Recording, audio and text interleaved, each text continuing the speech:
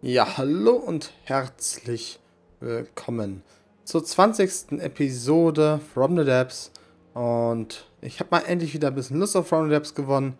Hab's letztens gestreamt gehabt und die äh, Aufnahme, die da entstanden ist, ist direkt nach dem Stream entstanden. Da muss der Onyx Watch danken. Diese Blockade der Onyx Watch hat dafür gesorgt, dass ich unbedingt aufnehmen musste, anstatt weiter nur rumzugammeln hier in From the Depths ähm, Videos, die sehr unterhaltsam waren, wie zum Beispiel von Lefrix, seine neue Adventure-Reihe und letztendlich dann auch von Vorsicht mit PH geschrieben, seine Arena-Reihe, ähm, haben dann mir wieder dann die Lust geweckt, dieses Spiel zu spielen. Deswegen kam dann auch dieser kleine Stream dann, der einfach so spontan lief. Naja, jedenfalls ähm, bin ich jetzt hier im Wiki Designer ich habe, war ja nicht ganz untätig, auch wenn ich vom letzten nicht wirklich aufgenommen habe, habe ich hier und da ein bisschen gebastelt. Am meisten habe ich an der Pegapus gebastelt. Ich habe gesehen, das letzte Video, Episode 18, ging noch darum, dass ich das Ding baue. Und das war Ewigkeiten her. Tatsache ist, sie ist fertig, meiner Meinung nach. Und auch schon mit neuen Detection-Systemen ausgestattet. Das bauen wir mal rein. Die kostet 307.000 von der neuen Ressource. Und so sieht sie aus. Wie machen es am besten? So macht man es am besten. Das ist die Pegapos. Nachempfunden auch natürlich nach dem Bot. Wer mich aus Robocraft kennt, der weiß sofort Bescheid. War eins von Rosefall ein Hovercraft gewesen in Robocraft.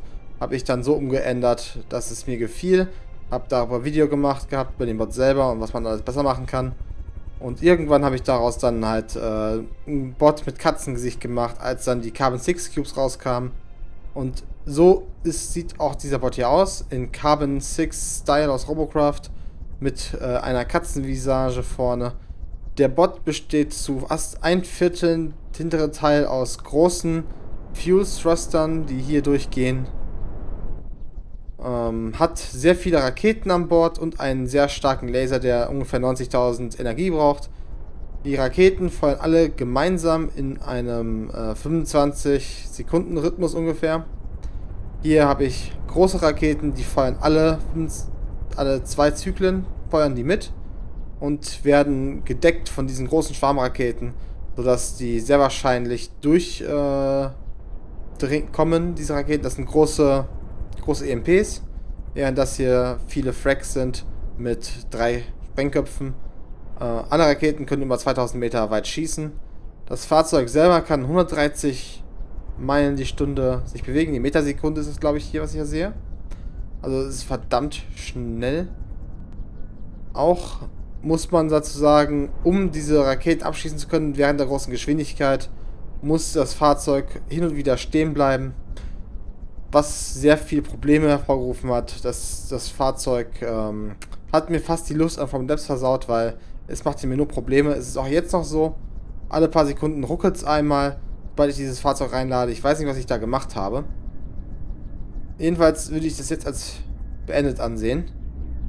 Hier vorne die Augen, die äh, drehen sich so ein bisschen, je nachdem, in welcher Stimmung gerade das Fahrzeug ist. Ansonsten guckt es lieb. Aus irgendeinem Grund drehen sie sich aber gerade nicht wieder in die Liebstellung zurück. Sie bleiben auf, äh, auf Agro-Stellung. Naja, was soll's. Ähm, was noch? Ja, ich wollte hier... Was kann man hier noch zeigen? Also man kann ein bisschen zeigen, was innen drin alles ist. Also es ist ein sehr großes Hovercraft. Oder beziehungsweise, wie nennt man das? Aircraft-Ship.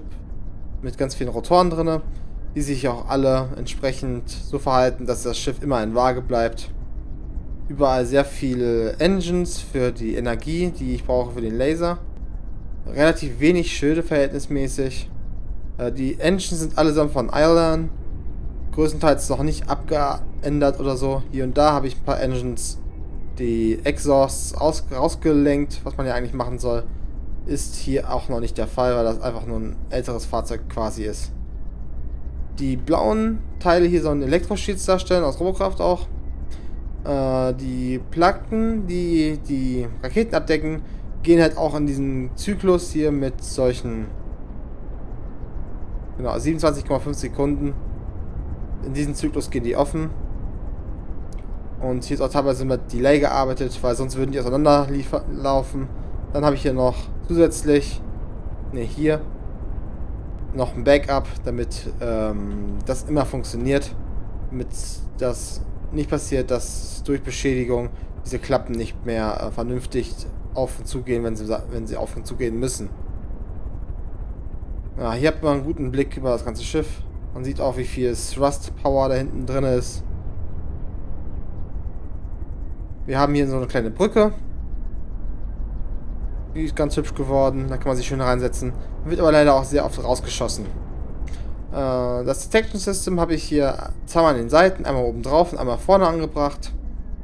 Da sind verschiedene Sachen dran, vor allem Dinge, die nicht zurückverfolgbar sind, wie Snooper und Retroflection-Radare. Und äh, hier vorne habe ich auch noch ein paar, wie heißen sie? Passive Radare. Ich habe kein aktives Radar und keine aktiven normalen Kameras. Alles irgendwie Sachen, die nicht zurückverfolgbar sind. Die ER-Kameras sind nicht zurückverfolgbar und die ER-Tracker auch nicht, wie die Laser Rangefinder. Die Detection Rate, ich kann das mal kurz zeigen, wie das hier funktioniert. Wenn man etwas detektieren möchte, kann man hier nachschlagen, wie gut die Detection ist. Und äh, die Detection von dem Bearing, das ist hier quasi der, die Gradzahl, in welche Richtung der Gegner ist, ist am besten, wenn man hier unten ganz gering ist, Prozent, und da die roten Punkte sieht, dann weiß man, man hat ein gutes Bearing. Die Range ist gut, wenn man sich hier auch an den roten und schwarzen Strich entlang hangelt. Dann hat man eine sehr gute Detection. Die Detection ist momentan sehr, sehr, sehr, sehr, sehr wichtig. Ohne die kommt man nicht aus. Also man muss ein bisschen weiter weg vom Fahrzeug gehen.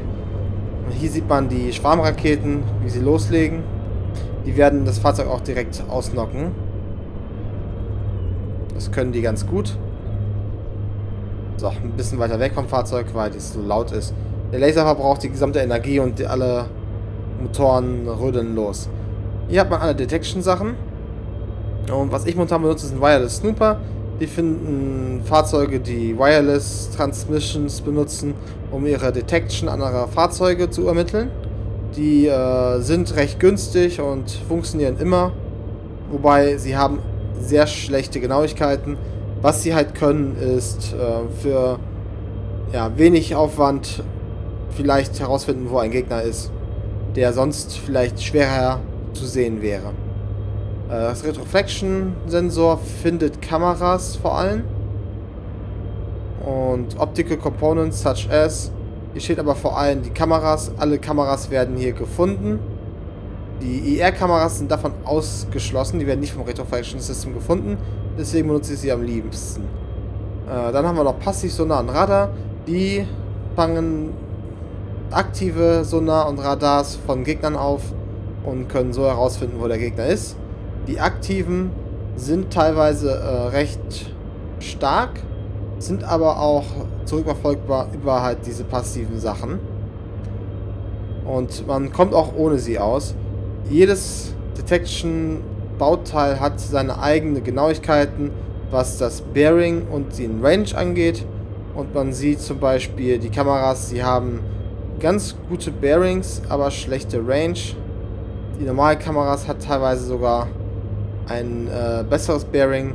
Ich glaube, das beste Bearing, was man haben kann, hat tatsächlich der Gimbal Camera Tracker mit 0,05% äh, Grad. Das ist sehr gut. Kein anderes Bauteil schafft es so nah ran. Für äh, Fahrzeuge, die auf Fernkampf mit genauen Waffen arbeiten, ist das wahrscheinlich eine gute Idee, trotzdem den Camera Gimbal Tracker zu benutzen um die höchste Genauigkeit zu haben. Man braucht allerdings dann eine effiziente Range Detection, weil hier hat man nur 8%. Die beste Range Detection bietet wohl der Laser Rangefinder. Der Laser Rangefinder hat 0,1% Range Detection. Ich persönlich benutze zum Tracking die IR-Kamera mit 0,1 äh, Grad Genauigkeit und den Laser Rangefinder. Beide sind nicht detektierbar durch das Retroflection System, was gut ist und bieten zusammen dann jeweils 0,1 äh, Genauigkeit, was gut ist. Gleichzeitig habe ich auch noch ein paar normale Rangefinder mit drauf. Die habe ich anfangs genutzt. Ähm, inzwischen würde ich vielleicht sogar auf diese Dinger verzichten. Die gibt es in verschiedenen Genauigkeiten, verschiedenen Größen. Allgemein, es gibt zwei Detection-Arten. Und zwar einmal, dass man weiß, wo ein Fahrzeug ist und das existiert. Und einmal das Tracking. Das genaue Tracking ist dann gut, wenn man halt ähm, den Gegner unter aufs Korn nehmen möchte. Vor allem mit genaueren Waffen. Wenn man allerdings auf Sachen wie Raketen und irgendwelche anderen Streuschussmethoden äh, setzt, was wahrscheinlich ähm, kaum der Fall sein wird, die meisten Kanonen brauchen eine genaue Feuerlösung, dann braucht man solche, garantiert solche Tracker. Und da muss man sich halt entscheiden. Ähm, meine Empfehlung ist, nimmt ein Wireless Snooper rein, die Retroflection, nimmt passives Radar und dann könnt ihr schon mal alles eigentlich finden. Ihr könnt das dann noch mit äh, IR-Kameras unterstützen. Da sind die 90 Grad etwas besser. Die sind ein bisschen genauer und sie haben auch vor allem eine höhere Range. Hier steht zum Beispiel, wir haben eine Range von 1 und Kameras haben eine Range von, von 0,5, die Hälfte. Während die Tracker haben allesamt eine Range von 2. Ich glaube, es gibt keine Detection-System, was eine Range von 2 an sich hat um irgendwo ganz früh rauszufinden, ob man einen Gegner überhaupt in der Nähe hat. Das gibt es nicht, nur die Tracker haben eine irrsinnig hohe Range. Äh, dann gibt es noch diese Bowie-Holders, das sind Bojen, die kann man abschießen, Raketen oder Torpedos, die dann selber ein Detection-System drauf haben und das, die Detection an das Hauptschiff übermitteln. Das ist, glaube ich, ganz gut für sneaky äh, Schiffe, da fällt vielleicht nicht so schnell auf, wo das Hauptschiff ist, weil die Rakete kann vielleicht gefunden werden, aber nicht unbedingt dann das Schiff, was diesen Bowie dann benutzt. Ich selber habe nicht unbedingt vor, das zu benutzen. Es ist ähm, nicht sehr genau mit 2,5 Grad und 0,5 Range, ist aber in Ordnung. Aber das, das Bearing ist halt sehr schlecht. Man braucht immer noch definitiv einen guten Tracker, wie diesen hier dann. Ja, soviel zum Tracking. Es funktioniert. Das wäre es dann auch mal zum Pekapus. Ich würde dann noch weitergehen. Ich habe noch ein paar andere Fahrzeuge. Hier hinten habe ich auch noch ein paar äh, Flares. Ansonsten gibt es nicht viel zu sagen. Ist halt auf Geschwindigkeiten ausweichen aufgebaut und auf langer Range äh, den Gegner zu um, umkreisen. Benutzt eine äh, Segel, nicht Segel, sondern eine Boots-AI statt eine Flugzeug-AI, um halt ein Broadside zu machen im großen, großen Kreis. So, dann habe ich neu gebaut nach dem Pegapus, weil der Pegapus war noch nicht fertig, als ich Thundercloud angefangen habe zu bauen. Der Thundercloud ist äh, ein Bomber aus Robocraft natürlich auch, wie alle Sachen, die ich gerade baue aus Robocraft. Ähm, war ein Bomber von Juva, der TX-Steine benutzt, um möglichst leicht zu sein, wurde aber durch Entfernen von TX-Steinen aus dem Spiel quasi entfernt und ähm, ja, es ist ein sehr ikonischer Bau gewesen, ein sehr ikonischer Bot und mal nicht, ausnahmsweise nicht meiner. Dieses Ding hier sieht ein bisschen klotziger aus als das Original, bietet aber ungefähr dieselben Eigenschaften. Es ist ein Cram-Bomber und alles, was unter ihm ist, äh, muss ganz schnell sterben. Ich selber habe hier nur ein paar Detection-Sachen drangehauen. Wo sind sie denn gerade? Detection, das weiß ja, hier unten habe ich sie. Da habe ich auch den, die IR-Kamera schon entdeckt. Muss allerdings allgemein noch ein paar Sachen hier, was das Tracking angeht, verbessern. Ähm, nachdem ich hier ein paar neue Sachen gelernt habe. Weil der Laser Rangefinder und die IR-Kamera ist schon drauf. Dann habe ich Retrofraction und Passivradar hier dran. Und einen Snooper.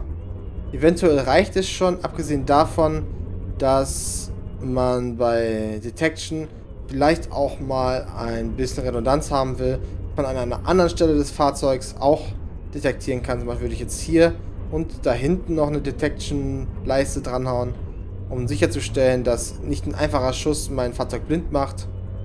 Aber ich sagte, dieses Fahrzeug braucht keine super gute Detection, weil das Einzige, was es macht, ist über welchen rüberfliegen und dann von oben drauf schießen. Und ich denke, da ist die Genauigkeit nicht das Allerwichtigste. Vor allem, wenn man auch näher dran sein muss.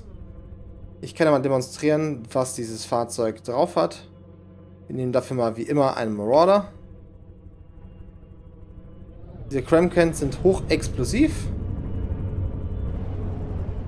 Man hat ein paar Raketen drauf, nur um ein bisschen Flugabwehr äh, einzuspeisen hier in das Fahrzeug.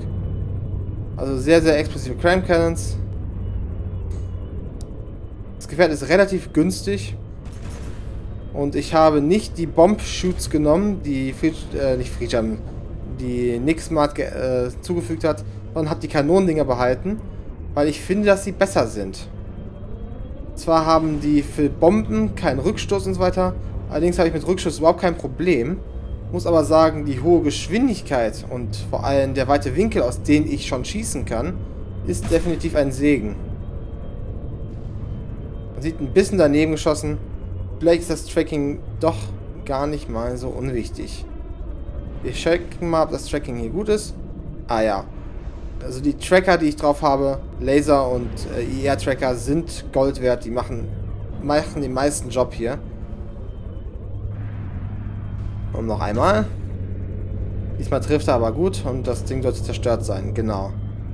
Also man sieht unglaublich Zerstörungskraft. Deutlich weniger gegen Stahlkolosse, seitdem sie die Explosionskräfte ähm, schon einen Teil genervt haben im Spiel. Vor allem gegen halt Stahl. Das Armor halt gegen Explosionen hilft. Dieses Fahrzeug äh, kann man auch im Einsatz sehen auf dem Kanal von Vorsicht. Ich habe es damals seinen Arena-Kampf zur Verfügung gestellt und submitted und er hat das Fahrzeug auch genommen. Er hat den Designerpreis gewonnen, weil es tatsächlich ein Design darstellen sollte. Ein vorhandenes Design, eine Nachbaute war. Es hat allerdings ein bisschen abgestunken im Kampf. Das lag zum einen daran, dass äh, dieses Fahrzeug nicht gut gegen andere Flugzeuge war, welche es nun mal als erstes besiegen musste. Und dass es eine besondere Schwäche hatte, und zwar es hat nur eine AI gehabt, die saß hier hinten. Und auch um weiter runterzukommen in den Kosten, habe ich jetzt vor allem sehr viel Holz verwendet. Und das ähm, Gefährt von Vorsicht hat Gatlings gehabt, die hier durchmähten wie sonst was und die AI sofort ausscheideten. Darum habe ich inzwischen jetzt eine zweite AI eingerichtet, welche hier zwischen den Kanonen zu finden ist. Diese ist deutlich mehr in Stahl eingepackt als alle anderen AIs und zwei AIs halten länger als, als eine. Das sollte also schon deutlich besser sein. Aber äh, Zweck und Fähigkeit dieses Fahrzeugs ist es halt vor allem Sachen, die sich nicht schnell bewegen können und, und im Wasser treiben, diese zu vernichten. Und das ist die Thundercloud. Und auf diese Weise lebt die Thundercloud noch ein bisschen weiter. Weil in Robocraft ist sie leider definitiv tot. Also es gibt wohl noch Versionen von ihr, die aber nicht mehr das sind, was sie äh, früher mal waren. Ich starte mal zwischendurch den Designer neu.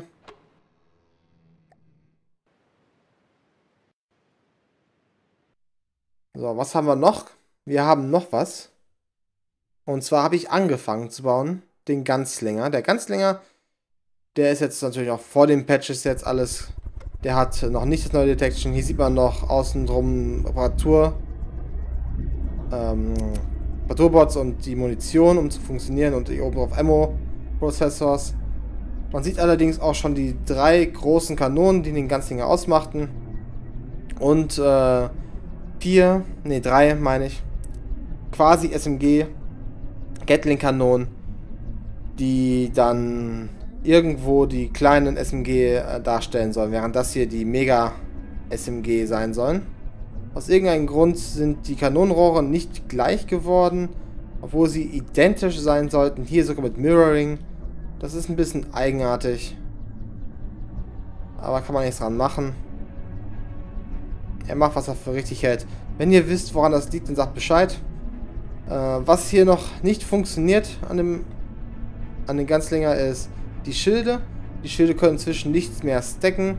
Deswegen werden die teilweise hier nicht mehr geladen, weil sie nicht durch das vorige Schild durchdringen können. Ich konnte bei diesem Fahrzeug komplett auf Türme verzichten. Alle Waffen sind hier direkt aufgebaut. Das liegt daran, dass das so einfach geht, weil ich hier eine ganz besondere AI benutze. Und zwar eine Lua AI. Das hier zum Beispiel geht auch nicht mehr. Missile Warner müssen inzwischen, oder Munitions Warner müssen inzwischen Line of Sight haben. Kann ich das hier schon mal entfernen? Warum habe ich hier zwei Lure-Codes? Und hier auch zwei Lure-Codes?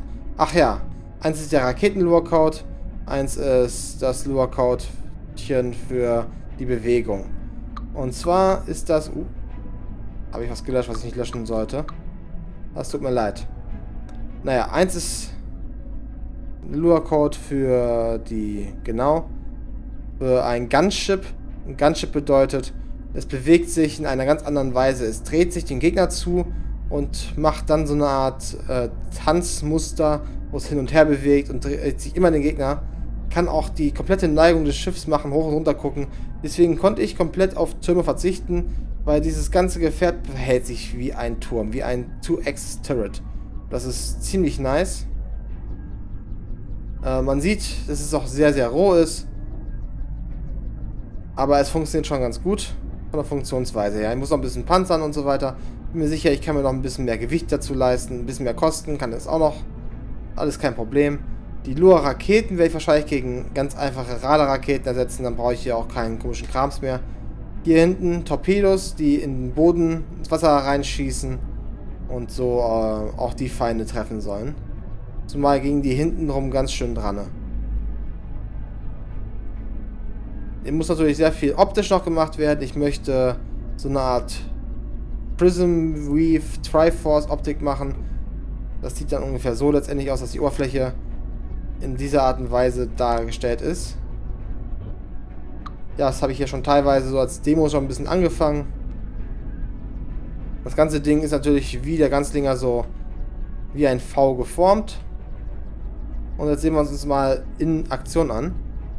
Wobei ich möchte eben noch checken, was ich eigentlich hier für Munition verwendet habe. Ich sehe, ich habe die falschen Munition Loaders genommen. Ich sollte eigentlich die Solid Munition Loaders nehmen, die sind besser. Weil hier ist die Muni ziemlich lang.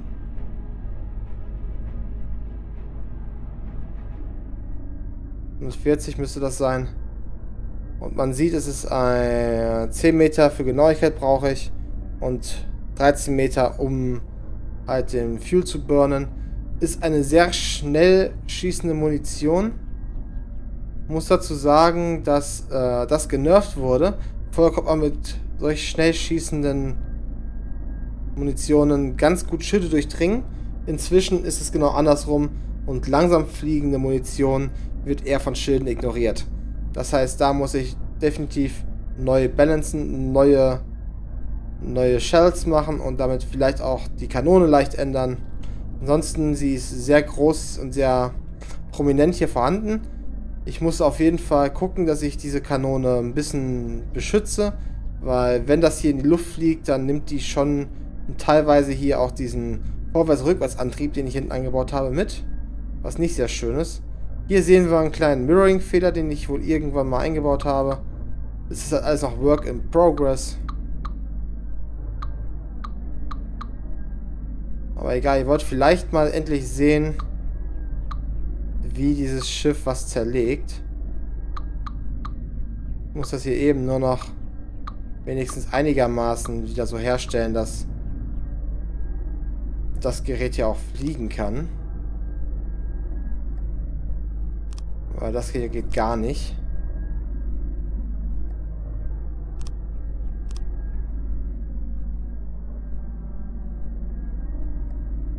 Weiß gar nicht, wie ich das hingekriegt habe. So, ich hoffe, ich habe keine weiteren massiven Fehler. Äh, irgendwie... Doch, da stimmt schon was nicht. Es ist nicht gerade wirklich sehr, sehr rund. Es ist aber vielleicht aber auch nicht... Ah, da unten ist aus gewissen Gründen nicht sehr rund. Das stört allerdings nicht, nicht so sehr. Die Lua AI steuert übrigens alle Rotorblades absolut perfekt um immer die richtige Menge Kraft an der richtigen Stelle zu haben. So, aber jetzt zeigen wir mal, was es kann. Die Lua-Raketen schießen los und funktionieren noch nicht. Wird eh neue machen. Wir haben noch keine Detection eingebaut, deswegen schieße ich komplett daneben. So sieht ein Fahrzeug aus, was noch keine Detection hat. Ich weiß einfach überhaupt nicht, wo der Gegner ist. Die Kanonen versuchen uns auch mal einzuschätzen, wo sie hinschießen müssen. Kommen nicht mal richtig zum Schuss. Einfach nur, weil sie sich nicht schnell genug auf diese verwirrenden Sachen einstellen können. Funktionieren wenigstens meine Torpedos. Ja, die Torpedos fliegen ins Meer. Und sind wahrscheinlich dann auch der Tod des Gegners. Große EMP-Torpedos.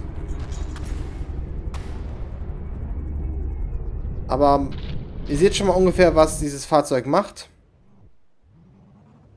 Wenn man das mal von der Gegnerseite anguckt, es schwebt jetzt hier oben, hält einen gewissen Abstand und bewegt sich immer hoch, runter, links, rechts.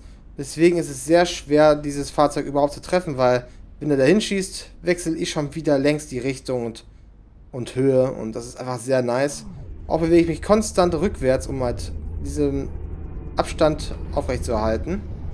Von ungefähr 800 oder 1000 Metern habe ich eingestellt. Es hat eine sehr, sehr effiziente... Es hat nicht so gut funktioniert mit dem Sonar. Es hat eine sehr effiziente Bewegungsart und Art eines Fahrzeugs. Kommt halt mit den Vorteilen, die man halt durch Lua mal hat.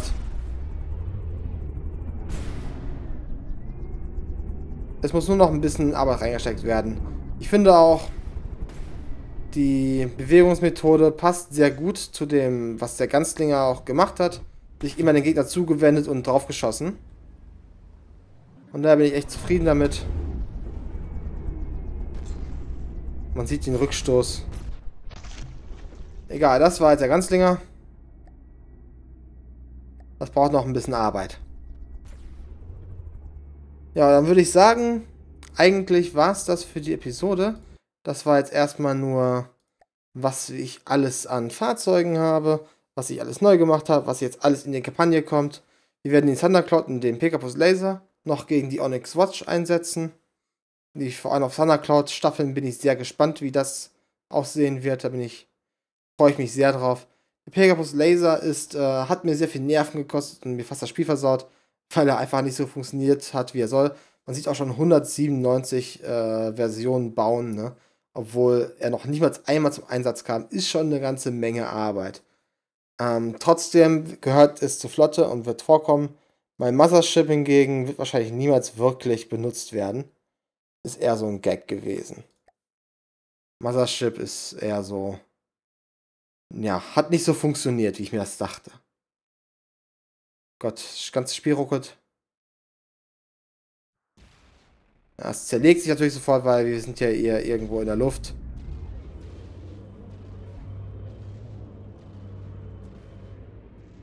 Ist nichts anderes als eine riesen Fortress, welche geplant war, eine mobile ähm, Baubasis und Ressourcenspeicher zu sein. Allerdings sind schnellere Fahrzeuge da genauso einfach, auch als äh, Bau- und Ressourcenspeicher möglich brauchst keine Fortress für. Fortress sind langsam. Äh, ich bin sicher, es gibt auch viele Sachen, die ich noch nicht bearbeitet habe in diesem Patch, wie zum Beispiel Warp-Antriebe. Die gingen übrigens nicht auf meine Fortress, auf meine Endurance. Irgendwie waren die ausgegraut. Das ist schade. Dann kann das Fortress halt nicht teleportieren. Das ist wirklich traurig. Wäre jetzt schön gewesen. Ja, das war Episode 20 zu From the Depths. Und wir machen definitiv weiter mit der Kampagne in der nächsten Episode. Könnt ihr euch darauf freuen. Wir bauen die relevanten neuen Fahrzeuge hier neu und werden damit die Onyx Watch beenden. Wenn die mal endlich mal vernünftige Schiffe haben. Pioneer. Was muss ich machen, damit ihr mal irgendwie ähm, bösartig seid? Können wir uns auf irgendwas freuen, nächste Episode? Chancellor? Schon wieder so Segelschiffe. Warum steht übrigens eine, übrigens eine Furnace? Die habe ich, hab ich die nicht eingenommen? Habe ich meine Kampagne nicht gespeichert nach dem letzten Let's Play? Bitte nicht. Das, ich habe es nicht gespeichert?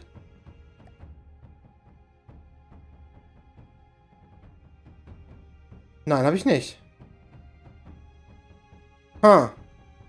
Bedeutet, ich werde wohl ein bisschen Zeit brauchen, äh, auf den Stand des letzten Displays zu spielen.